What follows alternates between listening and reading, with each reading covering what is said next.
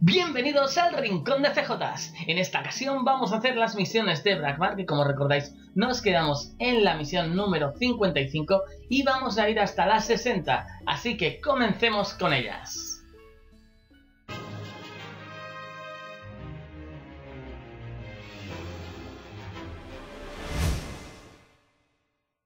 Y empecemos con la misión, ¿no? Para empezar, Otomustán nos explica que muchos de los guerreros Bagmarianos han sido derrotados en el camino que lleva de Astrup hacia Wonta, ¿no? Entonces, pues bueno, nos dice que tenemos que investigar eso, pero que antes debemos de ir a buscar un pez truzquito, ¿no?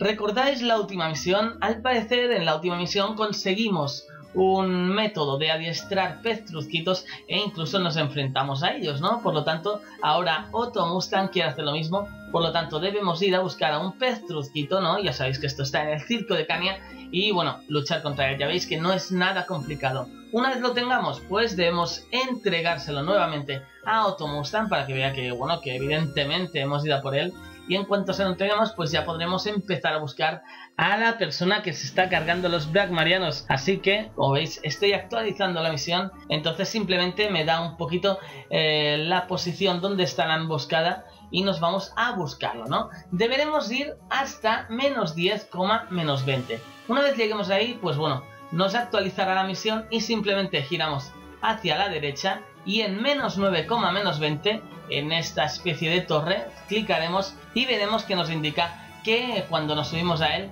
pues vemos a un miliciano desde la lejanía, ¿no? Entonces nos debemos dirigir hasta menos 5, menos 22 y allí pues nos encontraremos a un super miliciano, ¿no? Hay que decir que bueno, yo tuve la suerte de que al menos me desenvolví un poquito bien, ¿no? Pero hay que decir que es muy peligroso este miliciano. Como veis, tiene 12.000 puntos de vida. Sus ataques pues no son cosa para reírse y la verdad es que como veis me quedé apenas a 484 puntos de vida de morir, ¿no? Más que de vida de morir. Entonces, bueno, vais a luchar junto a un pez trusquito, así que, bueno, eso es la buena noticia. La mala es que si vais solo vais a sufrir.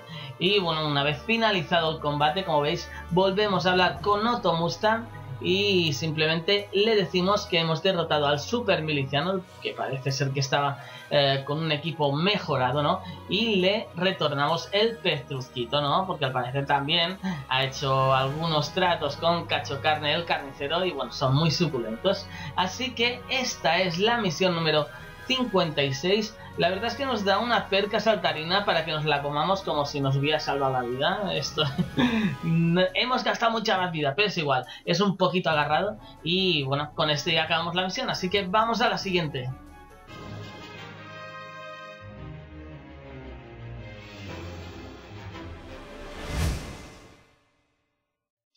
Empecemos con la misión número 57 del alineamiento Mariano, ¿no? Como veis, hablamos con Otomustán y Otomustán nos cuenta que al parecer los montarianos han contratado a un herrero que sí que puede hacer piezas de calidad. Por lo tanto, debemos buscar a este herrero y ofrecerle que se una a las tropas de Bradmar, ¿no? Así que lo primero es buscar al herrero, así que nos vamos a 3,29, aquí pues accedemos al taller de herreros que está en las escarahojas y hablamos con Norb.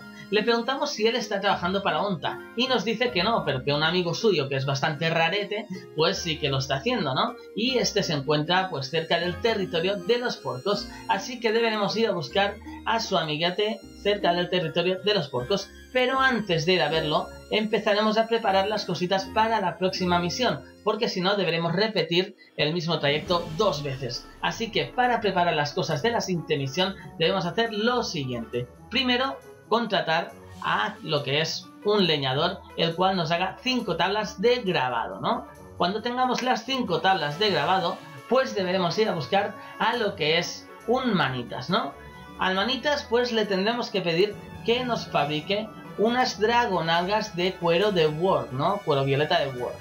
Entonces, nos creará eso y aparte debemos llevar 10 aceites y también una lengua de pez truzquito, ¿no? Que probablemente la habremos tropeado en las misiones anteriores, ¿no? El aceite de ser aceite para freír, lo dejo ahí. Y cuando acabemos nos vamos a 1,32, que es el acceso a la mina en la que se encuentra el herrero Nada. Una vez aquí, pues bueno, debemos encontrar a cuatro personas que nos vayan a ayudar y debemos accionar esta palanca que veis aquí. Únicamente la podremos accionar nosotros, las personas que tenemos la misión, ¿no? Así que no esperéis que vuestros amigos que no tienen la misión nos hablan, porque no lo harán. Entonces, con vuestros amigos deberéis enfrentaros a este grupo de monstruos que está formado por algunos empujadores y otros cofres y os cuento algo importante que es empezar por los cofres. Debéis empezar a derrotar los cofres. Y os preguntaréis, ¿por qué?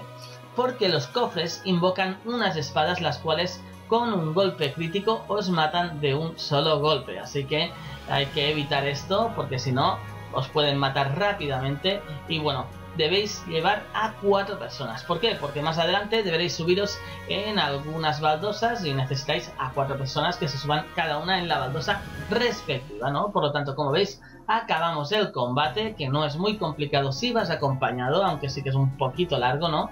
Y ahí veis, último golpe y ya llegamos a esta sala de aquí, donde conseguiremos algunas piezas mecánicas, ¿no? Como veis, hay tres salas. En la de la izquierda conseguimos la pieza con la letra N, en la del centro la pieza con la letra A y en la de la derecha la pieza con la letra R, ¿no? Si la sumamos, pues en total tendrían que hacer la palabra nada, por lo tanto dos personas deberán ir a la sala del centro, ¿no? Ah, otra cosa que explicar.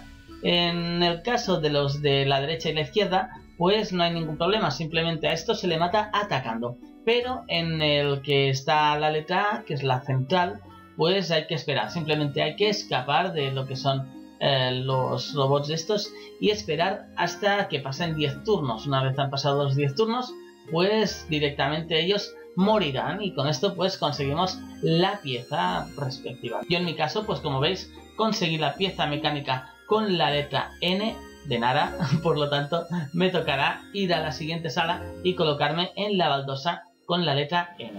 Hay que decir que en esta sala que estáis viendo hay agujeros, por lo tanto pasar por donde veáis que obviamente hay baldosa normal y no paséis por encima de eso que parece madera porque os caeréis hacia abajo, porque no podéis caer hacia arriba, también es un poquito evidente. Y abajo pues encontraréis otros monstruitos de estos, los cuales pues eh, deberéis enfrentaros a ellos en el caso de que estén por ahí, ¿no? Así que evitar caeros por los agujeros y colocaros en la baldosa correspondiente a la pieza mecánica que hayáis cogido, ¿no? Por ejemplo, si yo he cogido la N, pues me pongo en la baldosa N. Si el otro Sarida y la Yopuka han cogido la letra A, pues cada uno debe estar en una letra A y bueno, simplemente el Zurkarak debe estar en la R que es la que queda, ¿no? Una vez hayamos hecho esto, como veis se abre la puerta, hay que decir que el Zurkarak se ha caído así que ahora tiene que volver a subir y dar la vuelta antes de que se cierre la puerta y bueno, mientras esperamos vemos que aquí otra vez deberemos enfrentarnos a estos robots de aquí, ¿no? Al igual que al principio, pues bueno, empezamos luchando contra los cofres y luego ya mataremos el resto de cositas, ¿no? Eh, cosas que no os he explicado antes. Lo primero es que no hace falta que estos personajes que están ayudándote sean bontarianos o sean brackmarianos y estén en la misma misión, o sea, con que puedan luchar y puedan ir solitos por el mundo para la anterior sala de las baldosas hay suficiente. Por lo tanto, tranquilos, no hace falta que estéis en una misión en concreto para poderlo hacer todos juntos. Luego, otra cosita que quiero hacer hincapié es que debéis llevar los materiales, porque si no lleváis los materiales antes de llegar hasta la sala donde está Nara, deberéis volver a hacer el mismo circuito. Y como veis, pues ya hemos llegado a la sala en la que está Nara. Yo ya tengo los ingredientes o los recursos que necesito entregarle, por lo tanto ahora hace falta hablar con él y él, pues después de ofrecerle que se una a Bragmar, nos dirá que no, que no quiere unirse y que nos piremos de ahí, ¿no?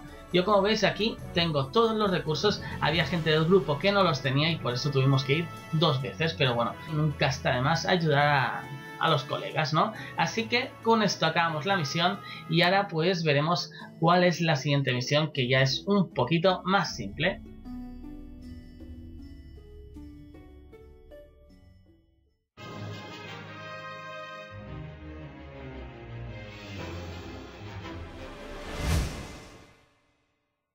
Y vamos con la misión 58, ¿no? Como veis, pues bueno, hablamos con Nara, buscamos el modo de hacernos con su confianza y lo que nos dice es que bueno que si le traemos algunas cosas para hacer máquinas de compañía, ya sabéis, dragonalgas, lengüitas, cosas sexuales, ¿no? Pues él estaría muy agradecido y nos ganaríamos su confianza, ¿no? Así que eso es lo que vamos a hacer. Teóricamente ahora lo que deberíamos hacer es salir de la mina, ir a buscar todos los objetos y volver, pero como ya los tenemos, pues únicamente hacemos este recorrido una vez y seguimos estando en este lugar. Por lo tanto, le entregamos todo lo que necesitábamos, que es la lengua del pez turquito, el aceite para freír, las cinco tablas de grabado y las dragonalgas de cuero. Y una vez se lo entreguemos, pues le decimos que ya está, que el pacto convenido era que ahora tiene que ser legal a Bragman, ¿no? Él pues dice que sabía que era una jugarreta, está todo medio loco, ¿no? Y dice que bueno, que va a eliminarlos para poder luego utilizar las dragonalgas a gusto y tranquilito en su mina, donde es un pervertido, es un forever alone. Este hombre se pasaría. Es que es porque no tiene internet. Si tuviera internet, se pasaría el día masturbándose. Pero bueno, dejemos de hablar de, de Nara y sus cosas sexuales y vayamos con la misión.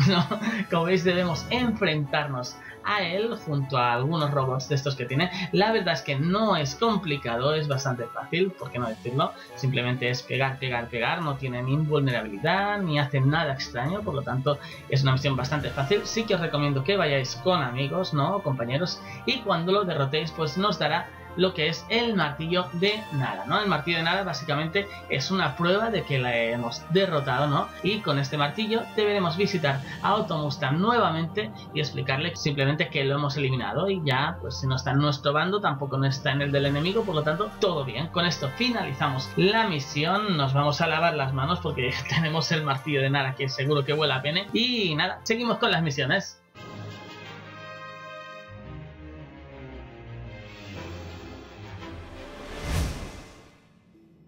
Y con esto empezamos la misión número 59 del alineamiento Bragmariano, ¿no? En esta ocasión, Otto Mustang nos cuenta que Sephirex le ha soplado, ¿no? Que hay un cargamento de armas voluntarianas y estas armas van a pasar con todo cargamento por lo que es la linde del bosque de los arácnidos, ¿no? Entonces, ¿qué es lo que tenemos que hacer? Tenemos que interceptar, eh, pues, los cargamentos, robarlos y volver aquí a lo que es la milicia de Bragmar y entregárselos a Aplastator el animal, que es el capitán de las tropas Bragmarianas. Así que nos vamos a menos 14, menos 20. Una vez ahí encontraremos pues al jefe del convoy, también encontraremos a dos personajes más y algunos milicianos, por lo tanto empezamos a luchar contra ellos. Yo como siempre os recomiendo que vayáis acompañados, ¿no?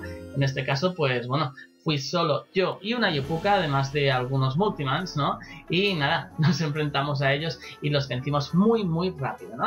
Entonces, una vez tengamos el botín, volvemos a la milicia de Bragmar, vamos a la primera sala, hablamos con Aplastator, le damos el botín del convoy y bueno, él está feliz porque dice que vamos a machacar a los voluntarianos con sus mismas armas. Así que únicamente nos queda hablar con Otto Mustang, el cual pues bueno, le anunciaremos el éxito de la operación y estará muy orgullosos de nosotros. Por lo tanto, con esto acabamos la misión número 59.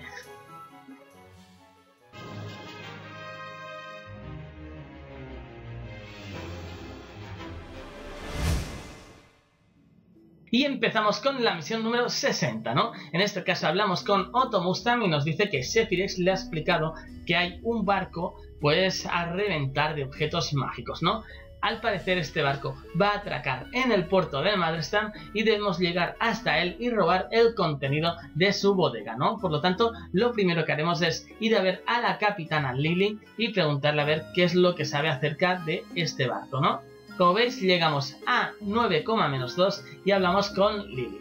Le preguntamos un poquito a ver si sabe algo del December y bueno, ella nos va a decir que no, que por ahora ella no sabe nada, que preguntemos al resto de habitantes del puerto de Madrestam y que volvamos más tarde, que mientras tanto ella estará investigando a ver si encuentra alguna información acerca de este barco, ¿no? Por lo tanto, nos vamos a la izquierda a 8, menos 2, hablamos con ¿Por qué te vas? Él nos explica un poquito su historia, ¿no? Básicamente que tiene un hijo que no se fue por él y que su ilusión era irse a buscar un cuerno mágico que estaba perdido, que escuchó la leyenda en lo que es la taberna de Sukokia, ¿no? Pero bueno, nosotros le preguntamos acerca del Descender y dice que no sabe nada, que preguntemos a otros habitantes. Por lo tanto, nos vamos con Berrumacha y también le preguntamos a ella a ver si sabe algo acerca de este barco. Ella no sabe nada otra vez y nos dice que bueno, que si es alguna mercancía que no sea muy legal, que podemos preguntar a Escualo el Rojo, ¿no? ¿Por qué? Porque es medio traficante y esas cosas, ¿no? Por lo tanto, ya veis, estamos buscando por el puerto de Malstram, no encontramos nada por el momento, así que nos vamos de 8, menos 4 a 9, menos 4, ¿no? Y una vez aquí hablamos con Escualo el Rojo y obviamente Escualo el Rojo tampoco sabe nada acerca de este cargamento, ¿no? Por lo tanto, pues ya veis, eh, nadie sabe nada. Al parecer no quiere atacar aquí el Descemer, ¿no? Y bueno, nos envía a que busquemos a otro habitante y le preguntemos acerca del cargamento, ¿no? Por lo tanto, el siguiente habitante al que vamos a ir a visitar se encuentra en lo que es la prisión de Madrestam y es ni más ni menos que Gemado el Guapo, ¿no? Hablamos con Gemado el Guapo y simplemente volvemos a tener otro super diálogo súper largo de la muerte, el cual nos explica cosas sobre patatas y cosas de ese estilo y ya después de esto nos dice que él no sabe nada acerca del Destemer, ¿no? Que él no sabe mucho de la prisión y que, bueno, que si queremos saber algo preguntemos a otros miembros del puerto de Madrestam, ¿no? Así que con esto ya volvemos con la capitana Lily y nada, le preguntamos a ver si sabe algo, ¿no? Ella nos dice que, bueno, que no sabe nada, pero que podemos ir a Pandala para preguntar al capitán Van Buana, ¿no? Por lo tanto, pues bueno, le pagamos 500 camas ella nos llevará justo hasta donde se encuentra el capitán Van Buana y una vez ahí pues le preguntaremos también otra vez acerca del Destemer, ¿no? Él nos dirá que bueno, que lo que es el Destemer lleva bastante tiempo en el mar, ¿no? Y que no piensa atacar ni en Madrestam ni en Pandala, ¿no? Que está previsto que en dos semanas ataque en lo que es la isla de Otomai, ¿no? Y hablando de Bontarianos, pues nos cuenta que un cargamento salió de Pandala hace pues más de una semana, ¿no? Por lo tanto, al parecer, todo lo que es el cargamento pues eh, salió desde tierra hasta Bonta y ya lo tienen, ya lo están probando y todo, ¿no? Los voluntarianos, así que al parecer aquí nos han llevado a la delantera y lo que nos queda es explicarle todo esto a Otto Mustang, ¿no? Así que nos vamos a Bragmar, vamos a hablar con Otto Mustang y bueno, le damos las malas noticias, ¿no? Eh, Otto Mustang pues dice que, bueno, que más o menos ya lo sabía y nos explica también que algunos espías le han explicado que los montarianos pues han atrapado a Shepirech, además de matar a algunos de nuestros Blackmarianos, ¿no? Por lo tanto, en estos momentos estamos bastante equilibrados, ¿no? Con las fuerzas de Bontano tenemos las armas de sus oficiales, pero ellos también tienen un buen equipo, el cual salió hace una semana porque nos tomaron el pelo. Y bueno, básicamente con esto ya tenemos la misión número 60 completa y básicamente ya tenemos que ver cómo se desarrolla la siguiente batalla. Por lo tanto, con esto me voy a despedir. Ahora ya podemos hacer las misiones de las órdenes y nada, espero que os haya servido esto y nos vemos en la próxima ocasión, chicos. Chao, chao.